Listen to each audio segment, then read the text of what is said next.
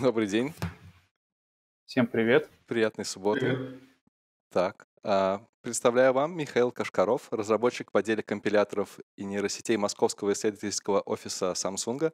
А, В этом докладе он узнает, вы узнаете, как с помощью вставки специальных меток в тела ELF файлов определять различные характеристики, например, совместимость ABI на этапе линковки и загрузки, формат типов данных и их совместимость, а также атрибуты функций, их покрытия и требования времени выполнения, также многое другое.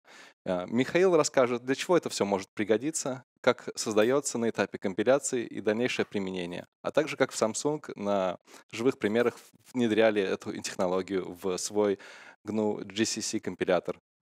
А, В качестве эксперта сегодня выступит Сергей Платонов, хорошо известный в русском CPP-комьюнити разработчик, постоянный участник и организатор плюсовых конференций в России. А, Также не забывайте подключаться к телеграмму данного доклада для задавания вопросов. А, Господа, доброе утро, день субботний. Еще раз. Привет. Доброго. Как у вас погода? Мы все в разных частях, как я понимаю, России И не России. и не России. И не только, У да. меня очень хорошо.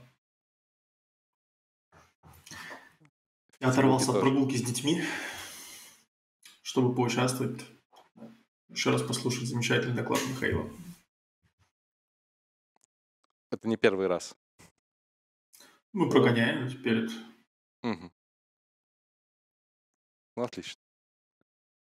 А, Михаил, как с погодой? Ну, прохладно. Дожди постоянные. Уже за окном как бы ночь. Подожди, это в каком часовом поясе? В московском. А, 17, Пять часов 15 уже вечера? В Москве? Да, да. Уже, уже темень. Ну, ноябрь в Москве время такое. Там можно и солнце-то и месяцами не видеть. Я поэтому и переехал в Петербург. Да. Это прям очень хорошая шутка. Можете в стендапе попробовать с этим? А, Нет, спасибо. А, Не уверен, что оплата будет эм, соответствующей техническим знаниям. А ты программируй. Прямо вот выходи, программируй, заодно шути. Да. Двойной оклад. Не знаю, не знаю, где так платят э, за стендап и реал-тайм кодинг, конечно. Да, интересно. Работодателя поискать надо. Что? Samsung любят юмор?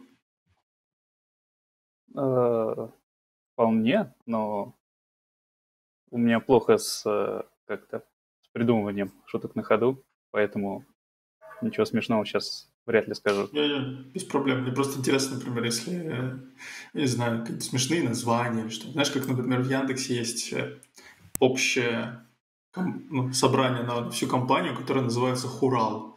Хурал — это такое собрание в тюркских народах, от, от ну, монгольское слово. Вот. Когда мон- монголы шли в походы, это все такое, они собирали хурал, чтобы там все, всем, всем походом решить, что и как. Ну, прекрасно же, когда у тебя в ко- компании, когда собирается, ты это называешь хуралом. Все на хурал? Да, все на хурал, реально. И он раз в неделю, все хорошо, да. Звучит круто. Ну, Нахуралиться. прикольно. Да, вполне. Не в пятницу проводите? А я сейчас не в Яндексе, я не, уже не помню, когда там. Нет, не в пятницу. Ну что, слушаем про эльф-файлы? Поехали? Да, можем начинать уже.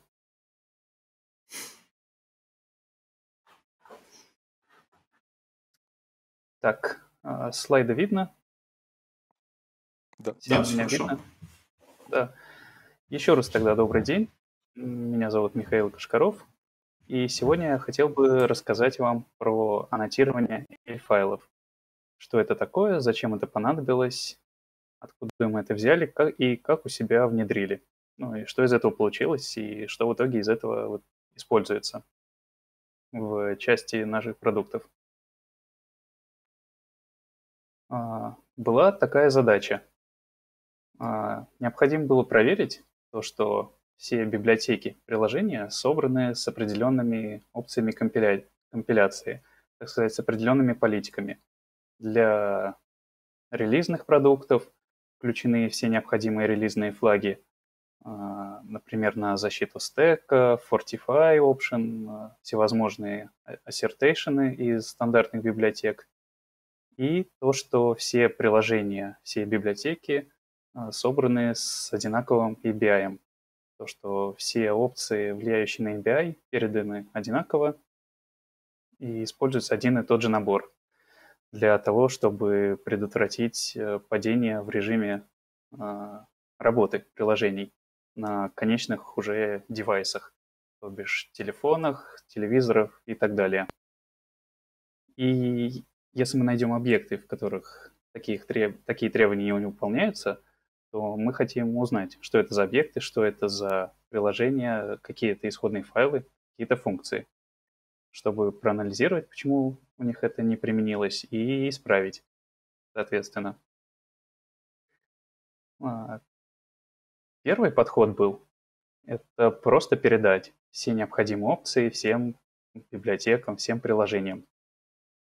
Но так как а, множество проектов состоят из большого количества числа приложений, и у всех этих а, приложений а, самый разнообразный зоопарк сборок. И CMake, и Ninja, и так далее. И самописные шеловские файлы.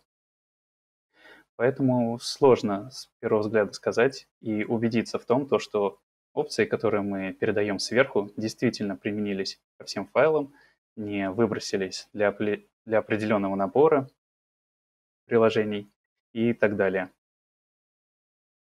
Второй наш подход – это состоял в предоставлении такой тулы, которая анализирует уже конечные бинарные файлы, допустим, библиотеку, либо Э, исполняемый файл на предмет того, применились ли опции.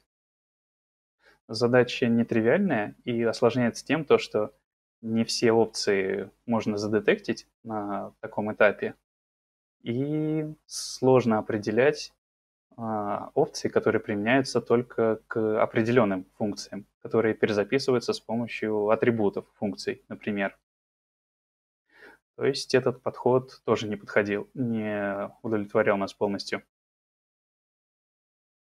А, нам надо было все это объединить и как-то придумать, а, как сохранять всю необходимую информацию, все оптимизации не только к определенным функциям и не только ко всем файлам, но и кусочкам а, исходного кода, кусочкам функций и так далее.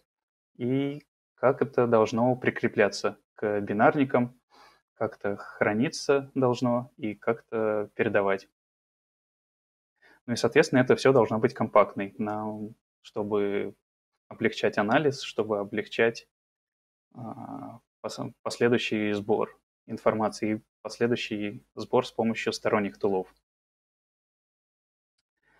А, в Red Hat для такой проблемы а, сделали так называемый плагин для GCC, который называется Anabin, а, сокращенно от Annotate Binaries.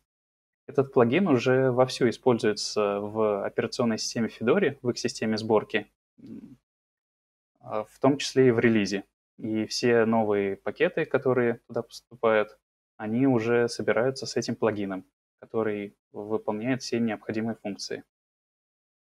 Так вот, этот доклад а, – это объяснение того, что такое Anabin, как мы применили э, этот плагин у себя и как расширили его, э, включив в стандартный toolchain, то есть э, в компилятор, линкер-загрузчик, и расширили его применимость под наши требования. А, я надеюсь, по названию доклада все представляют, что такое L-файлы, но для тех, кто впервые слышит эту аббревиатуру, это формат э, исполняемых файлов на системе Linux. Executable and Linkage Format.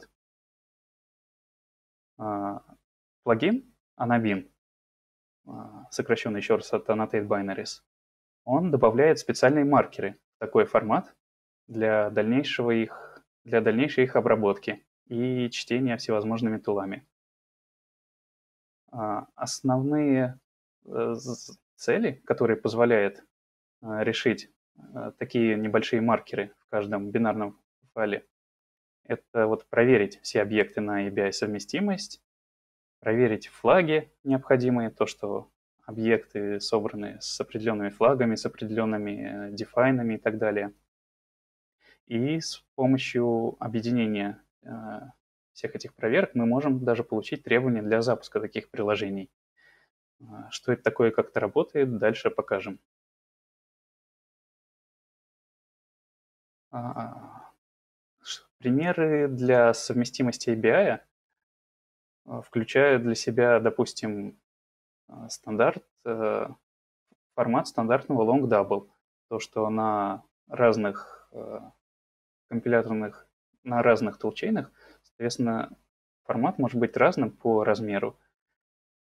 А, тут также еще приведем пример э, с перехода с 11 стандарта, с предыдущего, с 98 стандарта или с 3 на 11 стандарт, когда изменился в GCC ABI для стрингов и листа. Это тоже позволяет детектить э, данный плагин компиляторный. А, эти функциональности, которые а, предоставляет, так сказать, вставка небольших меток, она а, расширивает, расширяет а, свойства так, что мы можем сказать, что объект, первый объект, допустим, не зависит от какого-то определенного свойства ABI, а второй зависит. Значит, их можно скомбинировать вместе. Или если они используют совсем разные несовместимые ABI-стандарты, то тогда их нельзя линковать, нельзя запускать и так далее. Вот самый простой пример – это с white То, что если у него разный размер, нам хотелось бы это детектить уже на этапе компиляции, на этапе линковки. В общем случае этот вопрос можно сформулировать так, то, что в одном объекте x мы хотим понять, совместим ли он а, бинарно с объектом y. Еще на этапе компиляции линковки, опять же, до запуска, чтобы не разбираться уже в, во время работы приложения, что пошло не так, почему такая проблема появилась. И этот вопрос также включает использование а, стандартных базовых типов, например, а, до отслеживания размера базовых типов. Опять же, подходит под это определение white И, соответственно, хотим детектить только те случаи, которые реально влияют на э, совместимость, на те, которые не влияют, отбрасывать, так как ничего в этом случае не будет меняться. Хотим найти а, так сказать, множество опций, а, с которыми были собраны объекты, и понять, а, с теми ли опциями собралось, которые мы ожидаем в итоге увидеть. Допустим, для релизных а, версий приложений или библиотек мы хотим компилировать их с определенными опциями безопасности. Stack Protector, Branch Prediction, все SO2 и так далее. И в итоге просто по конечным бинарникам сказать, все ли они были скомпилированы, допустим, SO2, все ли были скомпилированы с FPI, или все ли использовали одну и ту же версию компилятора, а не какую-то стороннюю версию.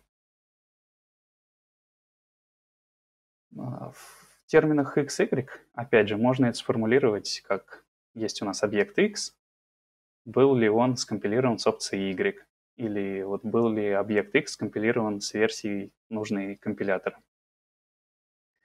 А, эти а, опции не только от компилятора еще хорошо бы находить, но и от линковщика, потому что линковщик может э, добавлять свои а, опции, связанные с релокациями символов и так далее. И это мы хотели бы тоже узнавать, чтобы потом анализировать ожидаемое ли поведение в итоге получилось или нет. И все предыдущие цели используются для того, чтобы понять, можем ли мы запускать в итоге скомпилированные все бинарники или библиотеки на, на целевой платформе. А, самый простой пример – это подходит ли, допустим, размер стека, который в итоге требует э, приложения. Все эти а, возможности, все эти, вся эта информация, которая записывается, она должна быть, конечно же, достаточно простой, она должна быть небольшой и быстрой для чтения и обработки, потому что она используется во время линковки и во время запуска. На запуск приложений это довольно критичная вещь по плане производительности. И мы не должны не вносить никакого дополнительного перформанса на запуск базовых приложений. Допустим, запуск браузера на мобильном устройстве. Как это реализовано? Реализовано это все с помощью так называемой ElfNode секции. ElfNode секция – это стандартизированная секция для внесения различных заметок в бинарные файлы, которые уже используются компиляторами, например, GCC, LVM туда записывают версию, в которой были скомпилированы а, объектные файлы. Эти секции можно расширить на новые наборы, и для наших, и для задач, которые были описаны, ABI совместимость, э, запоминание опций, с которыми все скомпилировалось, и а, предоставление правил для запуска приложений на устройстве, это все делится на две так называемые группы аннотаций. Аннотаций или заметок. А, одна небольшая область будет хранить а, небольшой маленький набор заметочек, которые необходимы только при запуске приложений на устройстве, на девайсе, допустим, на телефоне, либо на телевизоре. По этим заметочкам будет решаться, можем ли мы запускать или нет приложение. И вторая секция, а, которая уже не загружается в память и хранится отдельно, это так называемые расширенные заметки, которые уже предназначены для анализа либо внешними приложениями, либо статическими тулами.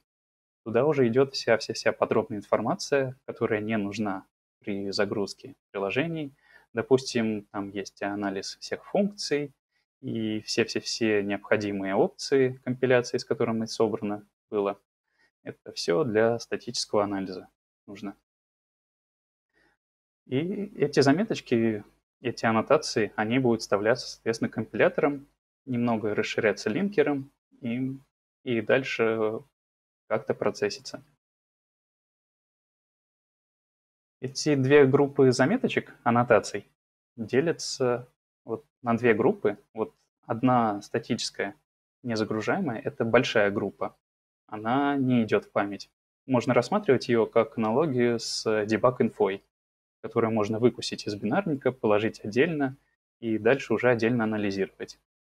А маленькая группа, которая используется при загрузке приложений, это динамические аннотации. Они как раз идут в память, и уже линков, и уже динамический загрузчик решает, а, стоит ли запускать приложение или нет. А, поговорим немного про статические аннотации. Статические, еще раз, это не загружаемые, те, которые можно рассматривать как расширенную дебаг-информацию, но не в формате а, заметочек L-файла. У всех у них есть свойства, в которых описаны области применения к а, исходному файлу. То есть это начало исходного файла и конец исходного файла. Это все делается по адресам функций. Они все а, реализованы в виде в текстовом формате для их, э, так сказать, удобного прочтения сторонними тулами. Они не сериализуются и поэтому имеют э, больший размер э, физический на диске, чем загружаемые аннотации. Их можно и смотреть руками, читать руками с небольшим как бы преобразованием сторонних тулов. В основном это всякие специальные коды и таблица соответствия что какой код означает. А, какая опция там записана или нет. Сейчас э, покажем пример таких заметочек. Выглядят они вот так, как стандартные сишные строки, с, заканчивающиеся backslash нолем. Все начинаются с одних и тех же э, двух букв, GA, сокращенно от GNU Attributes, и позволяют записывать как и текстовую информацию, э, как и все различные значения, как и булевские значения, свичи и так далее. И, соответственно, этот формат очень хорошо расширяется. Есть стандартизированные атрибуты. Допустим, с какой версии сбилдилось приложение, именно определенный конкретный файл. Была ли опция такая-то применена? Вот в середине слайда есть э, пример для Stack Protector. У него есть код у этой опции, записан этот код, и дальше записан, применен он или нет. Тут не показано, но еще у каждой заметочки есть адрес э, начала и конца. Это область исходного файла, к которому эти заметочки применяются. То есть мы можем сказать то, что такой-то атрибут имеет такое-то значение на весь файл, а на определенные функции у него совсем другой атрибут, что просто прекрасно. Эти атрибуты, соответственно, они могут применяться к совершенно разным функциям, к совершенно разным объектным файлам и не перекрываются только по диапазонам адресов конечных. И в итоге мы а, после внедрения таких заметочек, после их анализа, можем получить стопроцентное покрытие исходных файлов и сказать, что в какой функции действует какие опции тут действуют, какие атрибуты тут и так далее.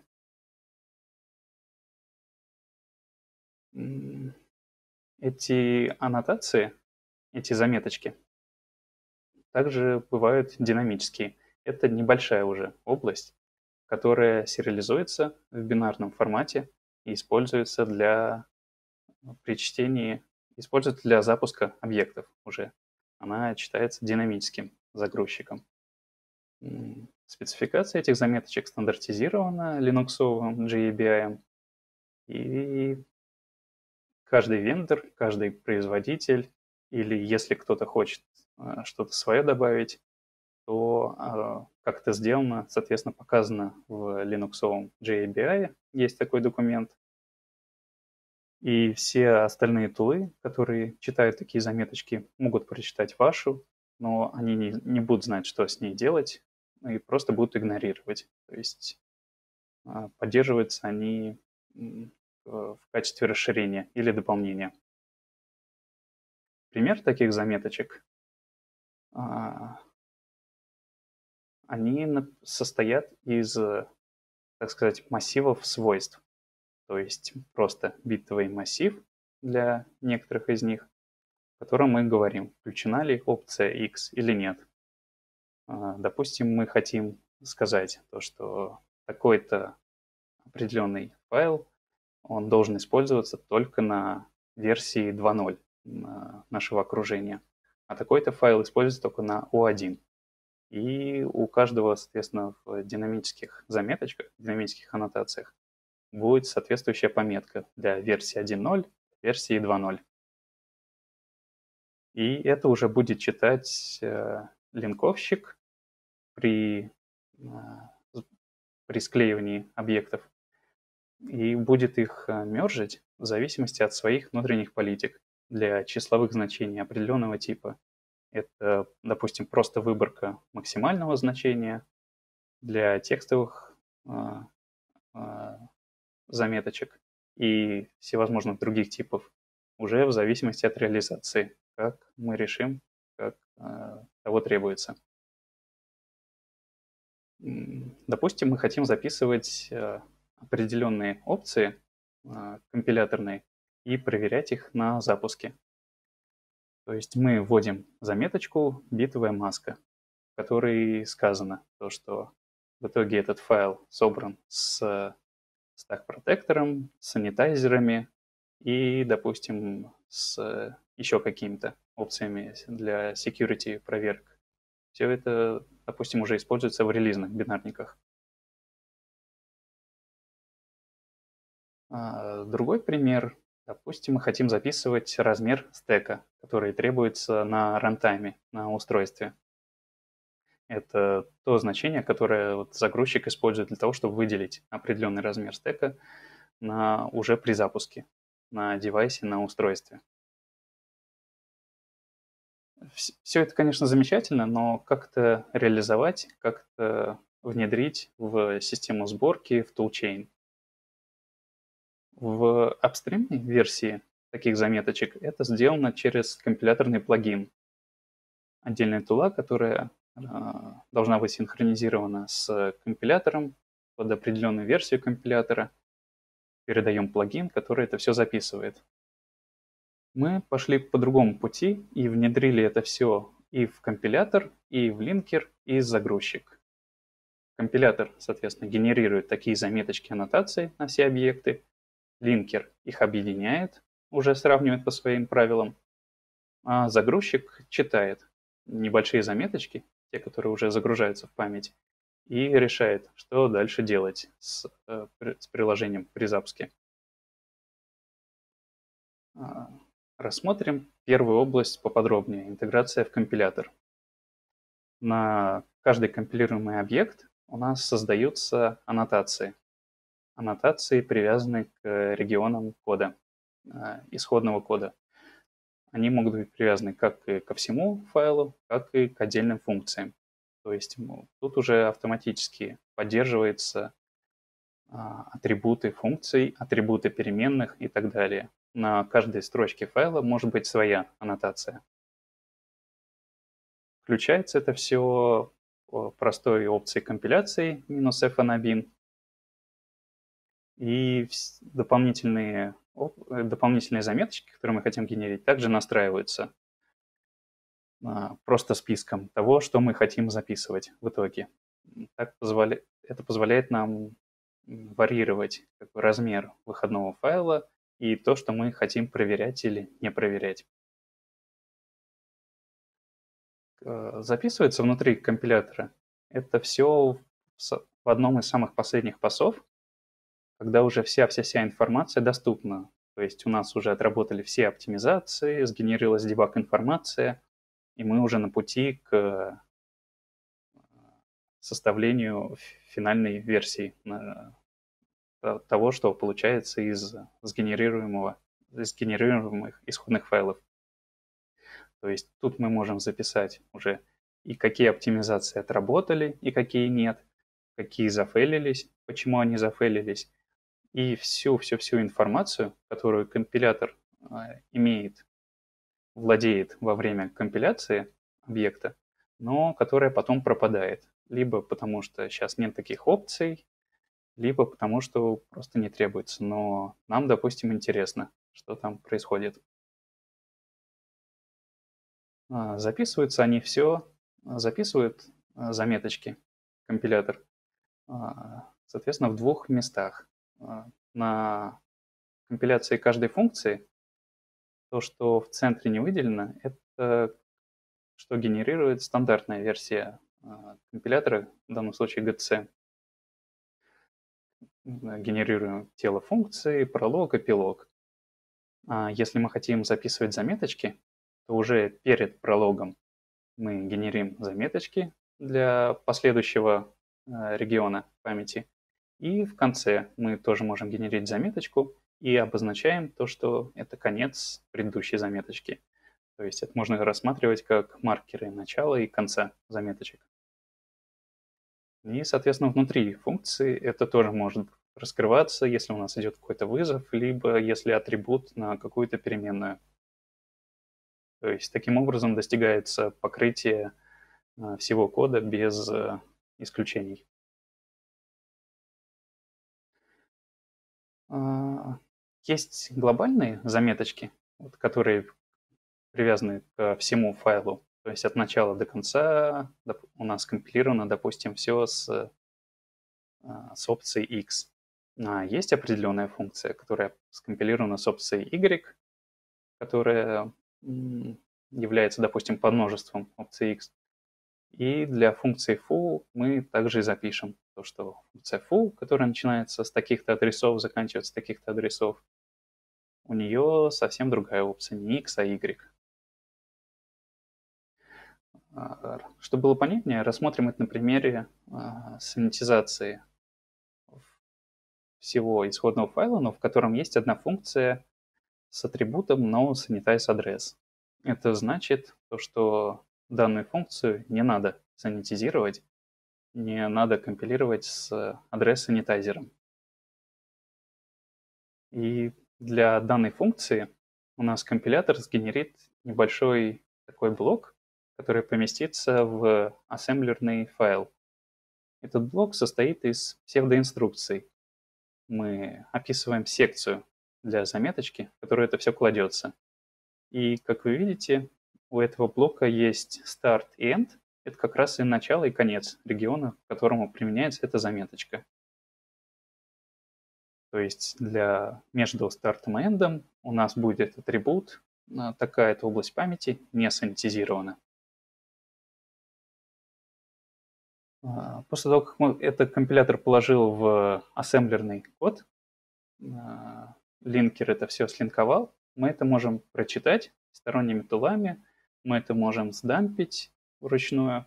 Допустим, redelf это может прочитать и сказать нам для такого случая.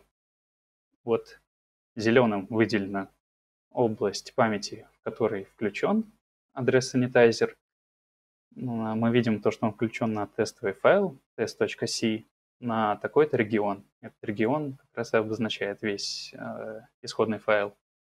И чуть ниже есть заметочка о том, то, что Асан выключен на таком-то регионе. И в скобочках расшифровка, то, что это какая-то функция из такого-то исходного файла. То есть мы полностью покрыли заметочками весь исходный файл, прочитали это все, и теперь владеем информацией о том, какая часть а, исходного кода синтезирована, какая часть не синтезирована. А, замечательно. У нас компилятор сгенерил такие заметочки, сгенерил на все файлы, на каждую функцию и так далее. Дальше наступает стадия линковки. В линковке производится объединение аннотаций. Объединение и добавление своих новых аннотаций, которыми владеет уже линкер. А, в основном это на связывание символов и так далее. Не будем углубляться подробнее. В конце презентации есть на это примеры. Тут же наступает первый момент проверки таких аннотаций. То есть на этапе линковки мы хотим понять, а можем ли мы линковать эти два объектных файла, можем ли мы их вместе соединить. Допустимо ли это в соответствии с тем, то, что мы ожидаем? На этот режим есть две э, политики, сказать, строгая и не строгая.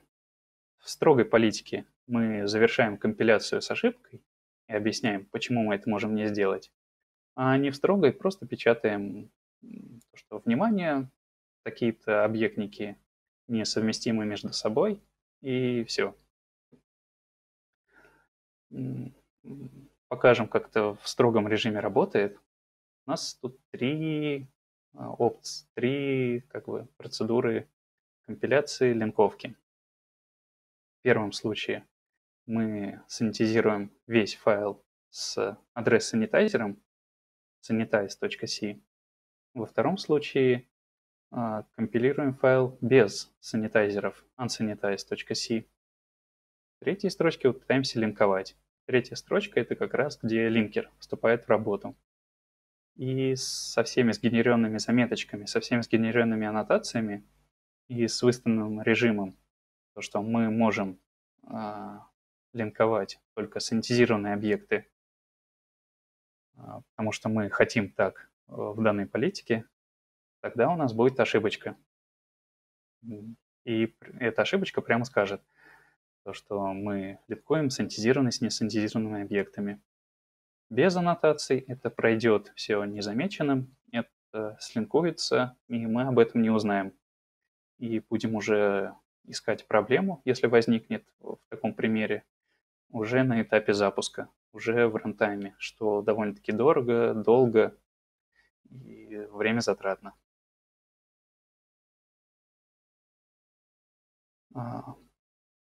Так, вот пример крупным планом. Все так же. Все а, исходные, все объектники генерируем с заметочками и линкуем. Та же ошибка появляется. После того, как мы все это слинковали, все это применили, у нас а, в загрузчике уже появляются, а, есть набор, так сказать, своих правил. По этим правилам мы говорим, что на таком-то наборе заметочек, на таком-то наборе аннотаций мы можем запускать только определенные бинарники. Допустим, мы хотим запускать все приложения для версии 5.5 и все приложения с включенными санитайзерами. И опять же, тут есть режим а, выкидывать ошибку, если это не так, и просто печатать предупреждение. В зависимости от того, тестируем ли мы а, все наши приложения или уже отдаем в релиз и используем на девайсах. Пример, как это работает без аннотаций, ну вот можем видеть в первом блоке. Мы запускаем приложение на неподдерживаемой в неподдерживаемом окружении, на неподдерживаемой платформе, и у нас э, динамический линкер а, печатает ошибочку о том, то, что символ не найден в такой-то библиотеке и так далее. С включенными же аннотациями, когда у нас есть вся информация о том, под какое окружение собиралось, под какую версию окружения это все собиралось, мы получим такую ошибку, которую вы можете видеть ниже, э, в нижнем блоке. В данном случае вместо relocation error мы получим читабельную ошибку, что мы пытаемся запустить приложение версии 4.0 на окружении 5.5. Ошибка, все. Тут уже сразу понятно, что мы взяли бинарник, допустим, из старой версии, запускаем на новой версии телефона и так далее. То есть время на поиск ошибок, на обработку всяких различных проблем очень сильно снижается. Ну и позволяет, конечно же, детектить э, ABI, допустим, несовместимость сильно, сильно раньше.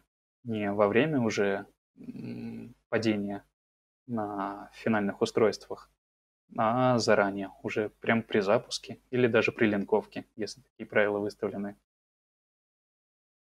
И в итоге весь процесс выглядит так. Вот. Мы интегрировались в компилятор, в линкер, загрузчик, а, создаем заметочки в компиляторе, чуть-чуть в линкере, линкер их соединяет, описываем правила в загрузчике, что мы в итоге хотим, и на выходе получаем либо успешный запуск, либо читабельную ошибку о том, почему мы не можем запустить какое-то приложение на какой-то таком-то окружении.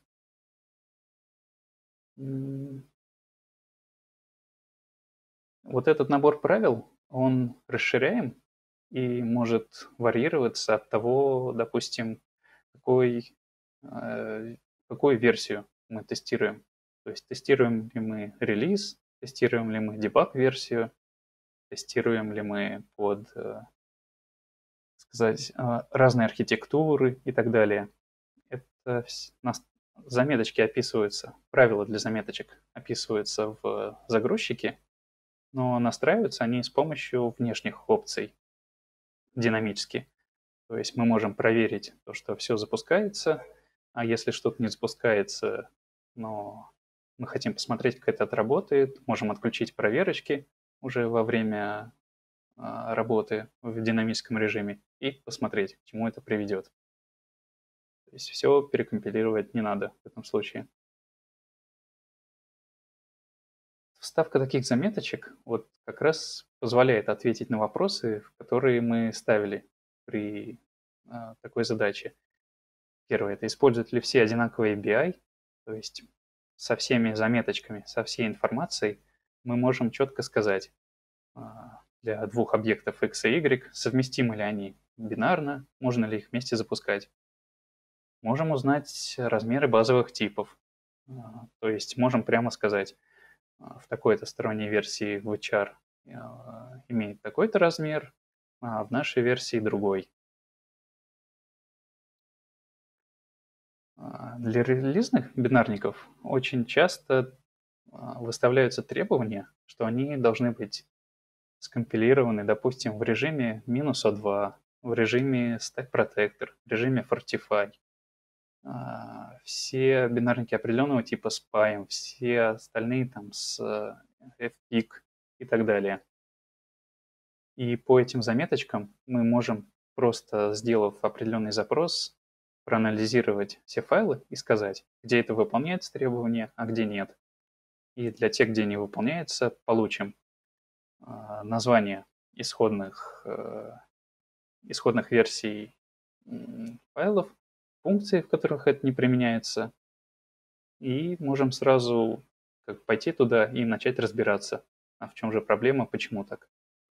Это же решает вопрос о том, об использовании сторонних версий приложений, если они скомпилированы одним и тем же толчейном или нет.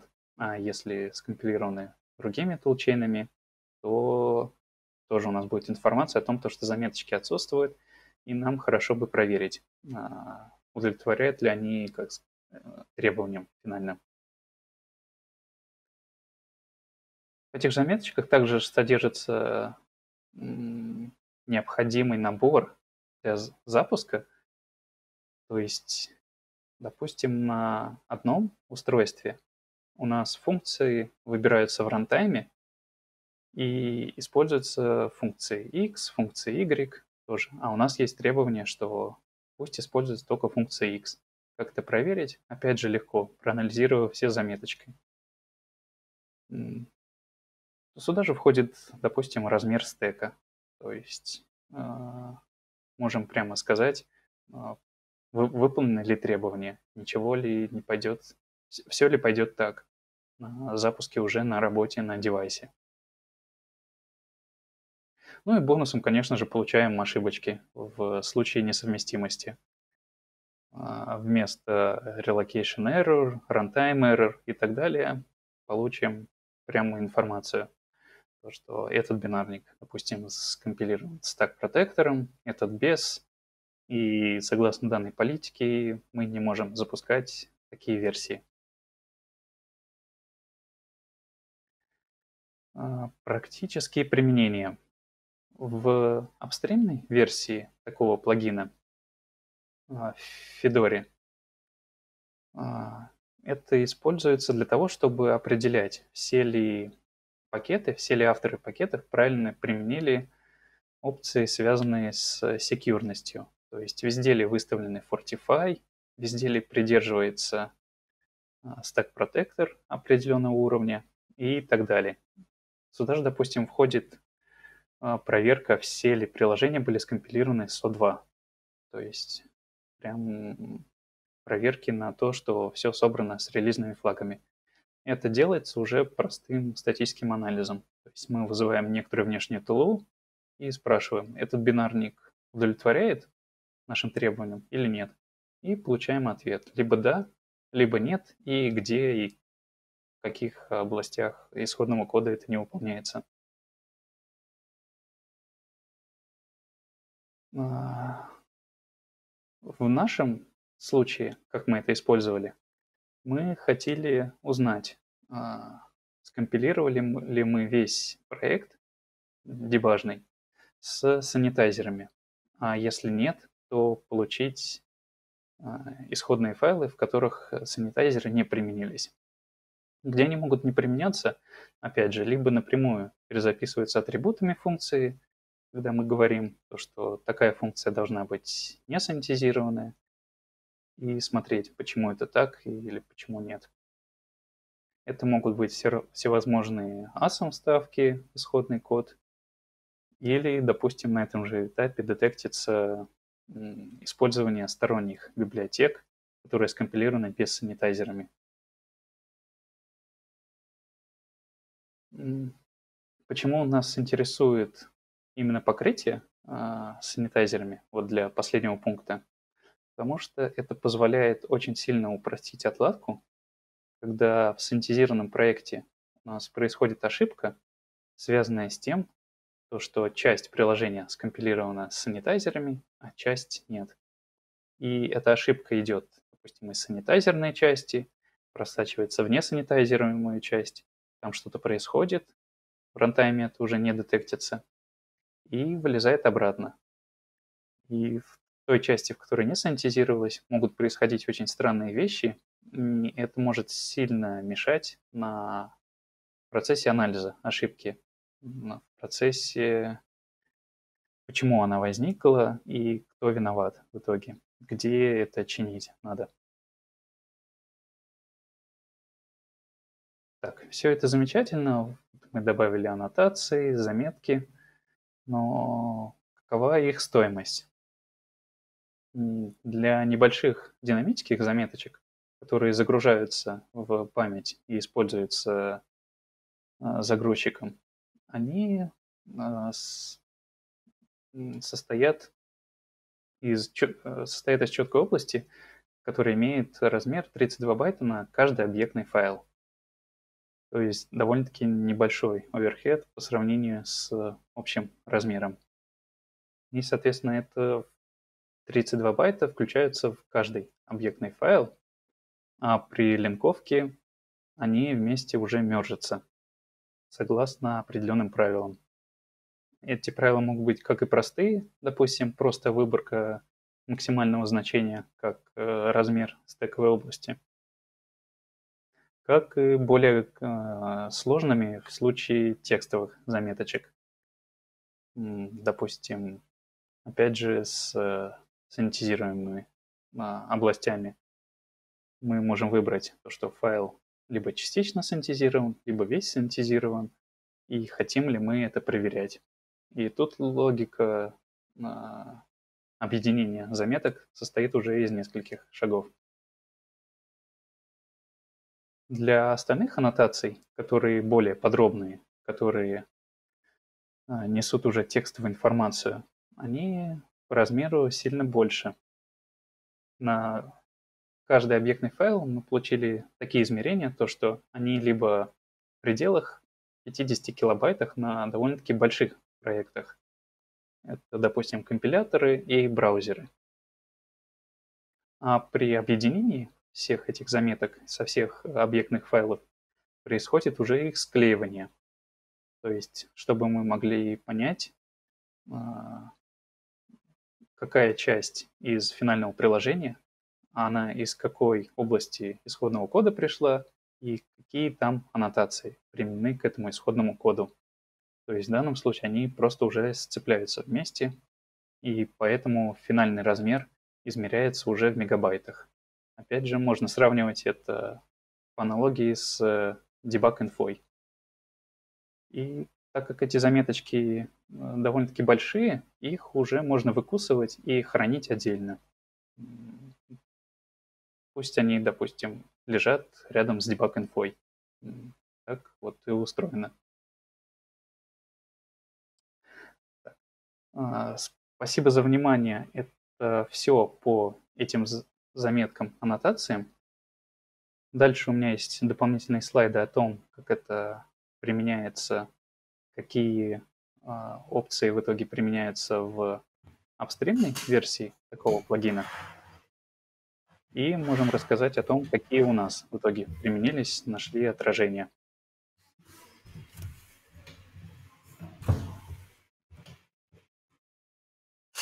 Так, я... Спасибо, необходимые Михаил. Ссылки... Да, пожалуйста. Все необходимые ссылочки на последнем слайде. Это описание процесса того, что такое аннотирование, а, презентация автора оригинального плагина. Это Ник Клифтон из GCC, из бинутилей, прошу прощения. Вот его эту как раз адаптировали себя. Ну и ссылка на исходный код, где это можно взять, потрогать, посмотреть и так далее. Классно, спасибо. Уже в чате немножко пообсуждали, где это можно взять. Э, по пообменивались ссылками из Гугла. Mm. Ну что, Да, да если просто в Google вбить Red Hat, получим множество статей, множество ссылок о том, как это Red Hat себя использует, как это в Fedora используется и так далее. Угу. Ну да. А, да, тут на всякий случай уточню. Я думаю, что я знаю ответ. А, там у нас были небольшие технические трудности в начале, и э, я так понимаю, что большинство участников начало пропустило. А, значит, спросили, что есть ли что-то специфичное, когда ты говоришь система сборки Федоры. Это ну, э, что-то что необычное или в целом это не важно в контексте данного доклада? В целом это не важно. Проблема в том, то, что э, системы сборок а, на больших проектах обычно несколько. И если мы хотим э, пробрасывать какие-то опции на все системы сборки, то нам либо надо смотреть в каждом пакете, что происходит. Каждый пакет это просто какой-то отдельный, э, допустим, плюсовый проект, сишный проект. А, их количество там достигает тысячи и, конечно, более. Либо вот mm-hmm. какой-то а, общий подход сделать, когда мы можем с помощью компилятора, линкера и так далее это все пробрасывать. И вот как раз э, такие аннотации позволяют это сделать. То есть вне зависимости Супер. от того, чем компилируется, чем линкуется и так далее. Если используется один и тот же компилятор, линкер и так далее. Но при сборке релизных проектов обычно так и происходит. Mm-hmm. Ну, получается, что можно записать э, опции типа как раз n-debug и все такое. Но в целом все опции компилятора записываете, правильно? А, по умолчанию записываются не все опции, а только те, которые интересуют. Вот я сейчас на следующий mm-hmm. слайд переключу. Вот это просто Можно слайды копия. показать, коллеги? Угу. Слайды видно? Теперь да. Да, вот Спасибо. это часть опций, которые использует э, апстримная версия проекта, которую она записывает при компиляции с э, такими аннотациями. То есть мы упоминали тут Fortify Source, glibc assertion. Тут же, допустим, записывается, были ли включены эксепшены, stack clash mm-hmm. и так далее. Все возможные Понятно, лин- линковки. Да. То, то, что э, может сломать потом сборку, да, если собрать с двумя разными, если собрать с эксепшенами и без эксепшенов, то можно очень сильно огрести. Да, конечно. И это вот как раз позволяет уже детектить на этапе линковки. То есть угу. прям при компиляции, не в рантайме, сильно-сильно раньше. Да, да, это классно. А, ну, получается, а дебаг символы вы отдельно храните? Эти заметки, эти аннотации, они хранятся в отдельной секции файла, не в дебаг секции. Mm-hmm. Нет, это, это отдельный был вопрос. Да, да. Ну, в смысле, что, ну, ну, в общем, на самом деле оригинальный вопрос был, например, записываете ли вы э, NDebug? Я так понимаю, что это вы в основном делаете для релиза, так что нет смысла записывать. Э, то есть, по сути, вопрос, есть, добавляете ли вы метаинформацию дебажная эта сборка или релизная? А, если какие-то опции из дебажной информации как бы пересекаются с теми, допустим, что на слайде, допустим, mm-hmm. все без Fortify Source, то это, соответственно, записывается, что без Fortify Source. То есть не mm-hmm. какой-то конкретный символ, а прям отдельные опции конкретные для каждой функции и файла.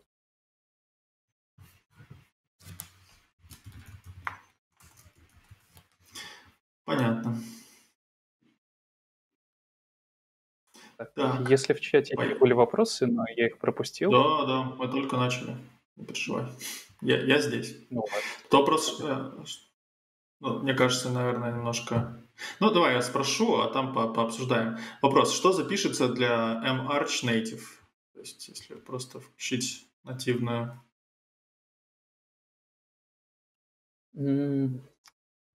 Зависит от политик. Э, даже так, не так не от политики, а от того, что мы хотим записывать. А, эти аннотации, они очень сильно конфигурятся опциями. То есть мы говорим, запиши аннотации и запиши, допустим, только такие аннотации. И, соответственно, только такие запишутся. Это все настраивается. Есть как бы по сути, дефолтный путь. Да. А, ну и, конечно, да. Зависит, да. Если мы добавляем какую-то сложную логику, если архитектура такая, запиши такие-то аннотации, это все извне контролируется. Угу. Понятно. Супер.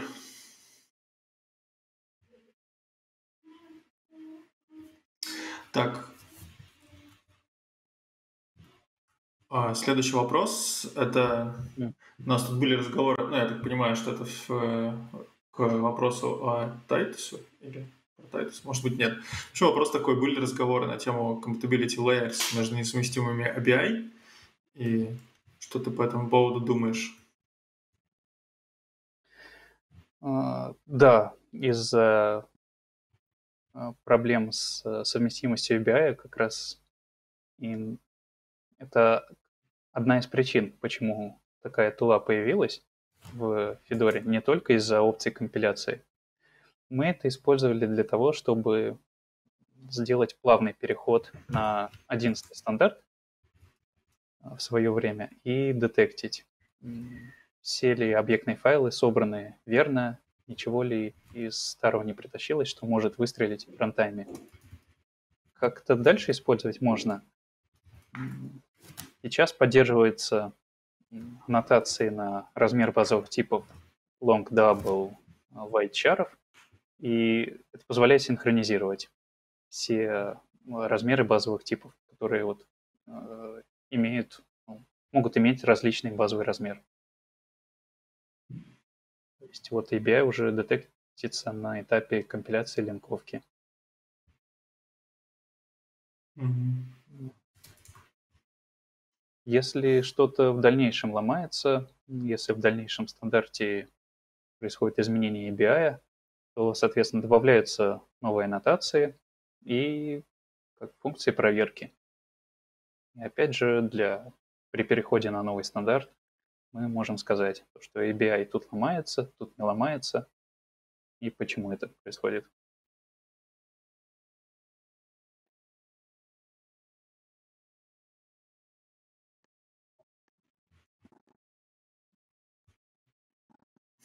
На всех?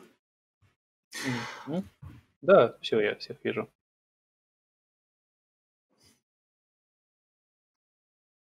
А, такой интересный вопрос, но он направлен тебе, поэтому я тебя спрошу. Откуда приложение mm-hmm. может знать, сколько ему нужно стека? Может быть, рекурсия? А, размер стека – это величина, которую загрузчик уже выделяет до Э, до запуска приложения. Фиксированная область. Это не размер стека для каждой функции, а на общее приложение. Это и 4 килобайта, может быть, и 8 килобайт, в зависимости от настроек. Даешь 8-мегабайтный стек. Да.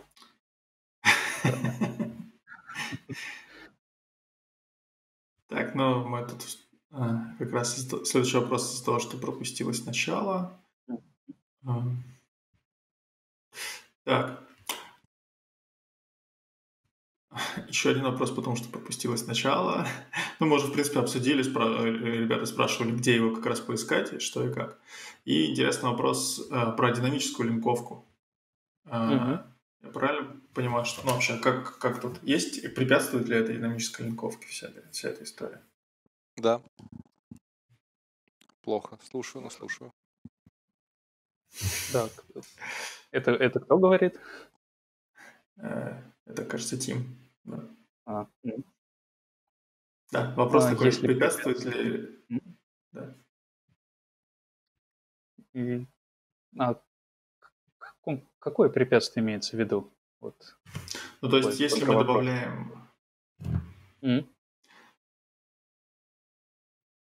У нас в голове кто-то говорит, Прекратить это немедленно. Я слышу голоса. За что? Именно. Э, значит, э, вопрос такой, что это аннотирование, как его можно использовать во время, если используется динамическая линковка? Я так понимаю, что ответ «да». Если у нас есть аннотации, которые компилятор сгенерил, и есть еще возможность добавить аннотации сторонними а, тулами, то есть уже после, а, допустим, компиляции. Это все делается, а, если мы создаем как отдельную аннотацию и просто линкуем ее с тем, что необходимо. Это все смержится, и при запуске уже эти аннотации прочитаются. Если я правильно понимаю, динамическая я думаю, что это вопрос в том, что вот если, например, у меня есть, если мы говорим про elf-файл, если а. я подключаю какую-то библиотеку, да? А, конечно, да. Э, во все приложения, во все исполняемые файлы, во все библиотеки записываются эти аннотации. Угу. А если я возьму и в динамическую библиотеку положу, положу аннотации, а в часть положу, а в часть нет, например? Да, это очень интересный случай, и он сразу же возник, конечно. В таком случае мы напишем то, что какая-то библиотека без аннотаций, и что дальше делать, это зависит от настроек. Либо жесткий режим, когда мы запрещаем а, такую линковку динамическую, либо лайтовый, когда просто пишем предупреждение. Это без аннотаций, не знаем, что там, не знаем, как поведет себя в рантайме, Удачи. Мой любимый режим работы компиляторов. Просто компилировать и в конце писать good luck. Да, да. Да, прекрасно. Тут еще ребята добавляют, что это же теперь можно прямо в бинарнике Джейсона э, запихивать. Ну, то есть никто нам не мешает э, засунуть простыню JSON в, такое, в такую аннотацию. А, почему выбран не JSON, если уж серьезно отвечать, а секции для L-файлов? Потому что они уже есть, они уже стандартизированы, они уже используются. И есть множество тулов, которые их читают и поддерживают. То есть как поддержка уже из коробки идет мы пользуемся, пользуемся тем, что уже реализовано.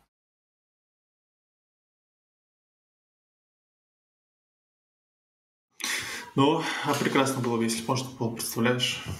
А в принципе, все равно можно. Compile level JSON uh, software development. Если мы хоть, не знаю, весь пайплайн, пайплайн компилятор теории можем записать в объектный файл и сказать, что на каждую функцию применилось. Почему тут inline не сработал, почему тут такое-то ставление не сработало. И дальше это анализировать. Вопрос в том только, как это анализировать, потому что информации очень много хранить можно в итоге. И как в процессе как постепенно это происходит. То есть хотим узнавать, все ли с O2, записали O2, все ли со стек протектором, записали стек протектор и так далее. Нет, Вопрос ну, в анализе. Это, это прекрасно, на самом деле.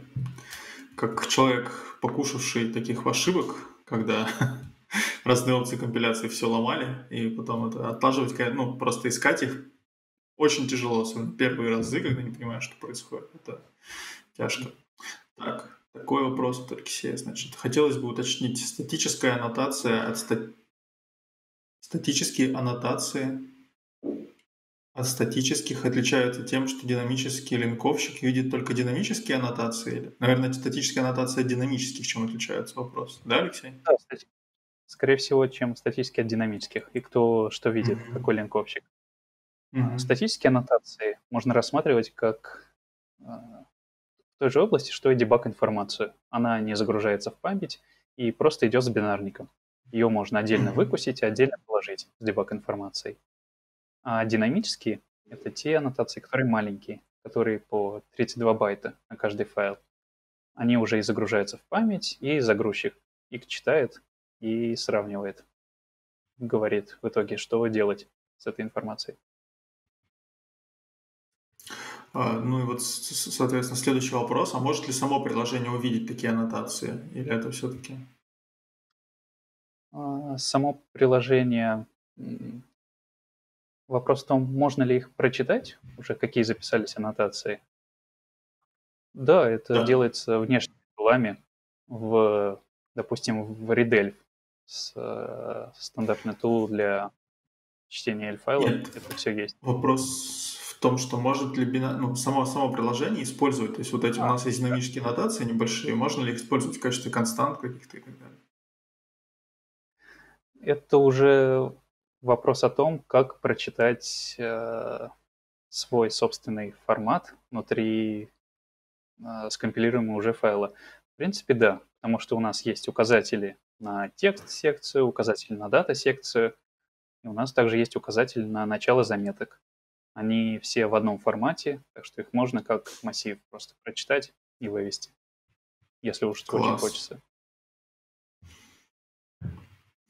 Очень интересно. Прям хочется поиграться скорее. Надо придумать, зачем мне это надо. А, Ну, вот это основной вопрос, как бы зачем это надо, а, в плане оп- оптимизации, как это можно использовать для оптимизаций. Этим занимались. Ну, следующий вопрос. Можно ли просматривать такие аннотации чем-нибудь типа objdump? Ну, очевидно, что readelf должен помочь, да? А, Redelf показывает в текстовом виде уже с расшифровками некоторых кодов, а ObjDump, по-моему, у него нет расшифровки, что конкретное поле означает. У нас просто некоторые заметочки могут быть э, с кодами, допустим, такая-то опция это 1, такое- такая-то опция это 2. Redelf покажет а, обозначение этих всех кодов. А ObjDump как сырую информацию. Ну, тем не менее, можно, это тоже хорошо, правильно? Конечно. Алексей все пытается сломать, как всегда. Значит, следующий вопрос. Есть ли какие-то ограничения на информацию, которую можно хранить в аннотациях? На объем, на содержимое? Можно ли запрещенный Роскомнадзором видеоролик хранить в аннотации? Можно ли так запрещенную информацию передавать? Ну, нет, вопрос именно скорее в том, что... Вопрос в том, что есть ограничения какие-то. Это остальное уже просто шутейки. Ограничения в статические аннотации, которые не загружаются в память, никаких ограничений нет. То есть мы можем положить туда любой текст, любую, любое количество символов и дальше это анализировать. Вопрос, надо ли это или нет, но, но можно. Можно же так дистрибьютить мануалы. Руководство разработчика, вот это все. Читайте бинарник. Да-да-да. М, Следующий вопрос э, про размер стека. Что если используется splitted или segmented стек? А, Это все, опять же, описывается аннотациями. То есть не просто какой-то стек какого-то размера, а определенные подобласти, определенные разграничения. Аннотация — это Мгм. просто маркер на исходный код. То есть с такого-то региона по такой-то такие-то свойства. Все. Понятно. Ну да, логично. Вот Алексей пишет, что динамические э, аннотации можно использовать для логирования, как минимум. То есть просто чтобы записать, что у нас, например, такая-то версия. Динамические аннотации можно, конечно, но ну, в принципе можно. Да, просто логировать. Ну да, или Э, Можно же, получается, как бы если, например, задаться целью воспроизводимую сборку делать, то мне кажется, это вполне полезная штука. А, Например, ты можешь по опциям компиляции проверить, что, ну, что ты собираешь э, всегда одним и тем же. Э, Ну, в смысле, что опция компиляции, например, не изменилась от а, одного, от одной версии компилятора к другой, или, не знаю, в общем, что этот бинарник собирался так же, как предыдущий бинарник. Да, конечно, это все можно проверить. Можно просто прочитать, что там записано в этих аннотациях и убедиться. И опять же, просто при запуске можно выставить такое правило. То есть у всех должно быть, у всех э, приложений должен быть определенный набор. Если чего-то нет из этого набора, ошибка.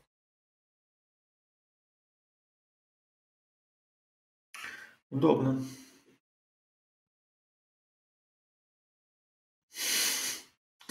У Алексея уже пошли какие-то фантазии на тему того, что это можно использовать, чтобы определять, какой из сервисов пятисотит. Нет, Алексей, хватит. Надеюсь, что для такого это не будет использоваться. Ну и вопрос от меня.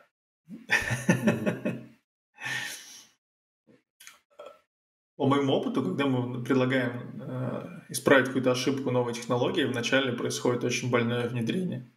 Вот было ли здесь такое, не расскажешь?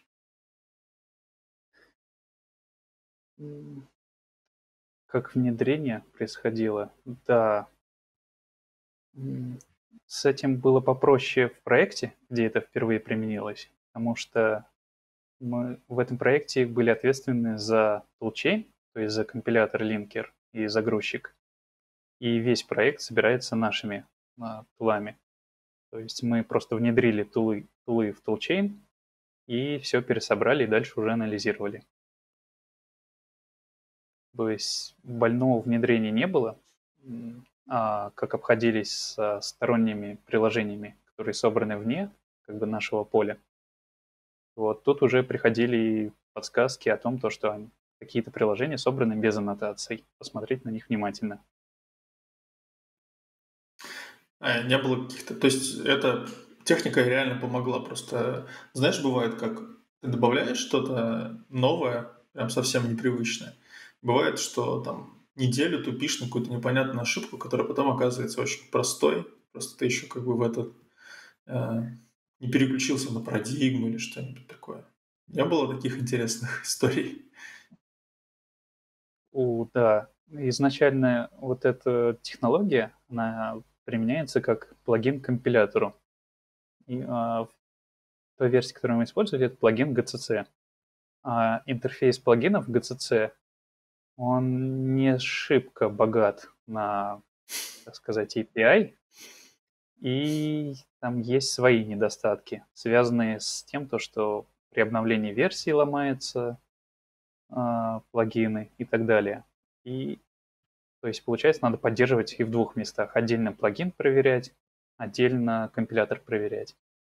И самая большая грабля, которая в этом случае возникла у нас, это кросс-компиляция. Когда мы компилируем на хосте под x86, а запускаем все на уже телефонах, где ARM. Тут у нас должен быть и плагин соответствующий, и компилятор соответствующий, и они с, с разных архитектур должны друг с другом общаться. В общем, это была самая большая проблема, как это реализовать. И почему мы внедрили это все в компилятор? Как раз, чтобы решить такую проблему. Чтобы просто mm-hmm. не мучиться синхронизацией. Да, круто. Ну, логично. Я представляю, сколько это было работы. Ну, кросс-компиляция это если все хорошо, то она работает, да? Но если есть какие-то проблемы, О, то да. это очень надолго сразу. Причем была интересная история о том, то, что в прошлом году автор этого проекта, вот Анабин, выступал на конференции, к нему подошли, мы к нему подошли и спросили, что мы попробовали ваш продукт, он очень крутой, но у нас проблемы с кросс-компиляцией вот вы не встречались с таким? А, на что нам ответили, да какие там могут быть проблемы? Там все вроде понятно. Вот мы полгода мучились, мучились, внедрили в компилятор. А буквально месяц назад от этого разработчика письмо в общий mail-лист GCC о том, то, что оказывается есть проблемы при кросс-компиляции с каким-то плагином. Давайте их решать. Ну да, по, по граблям походили. Понятно. Ну, очень, очень интересно. Спасибо еще раз за доклад. У нас, я понимаю, останется минутка. Мы сейчас продолжим э, в зуме. mm. общаться. Уже присылают э, ссылки э, в чатике. Благодаря тебе за отличный доклад тоже. Да, спасибо всем, кто как собрался. Да, спасибо, Михаил, за доклад, а Сергею за вопросы. А у меня есть один. Насколько это сильно интегрировано в GCC? У меня кроссплатформенная как раз компиляция есть на Embed, но я Clang использую. Соответственно, это настолько очень захардкожено и сильно привязано к GCC, получается, решение. А, апстримная версия — это плагин, который завязан на определенной версии компилятора. И есть mm-hmm. плагин и к GCC, и к Клангу, к LVM. А, наши версии на компилятор, которая внутри компилятора, она, по-моему, только в виде патчей сейчас и не на апстриме, ага. но можем Вынужден как вас бы... привать. А, все, осталось 10 секунд до следующего блока. А, прошу переходить в дискуссионную комнату.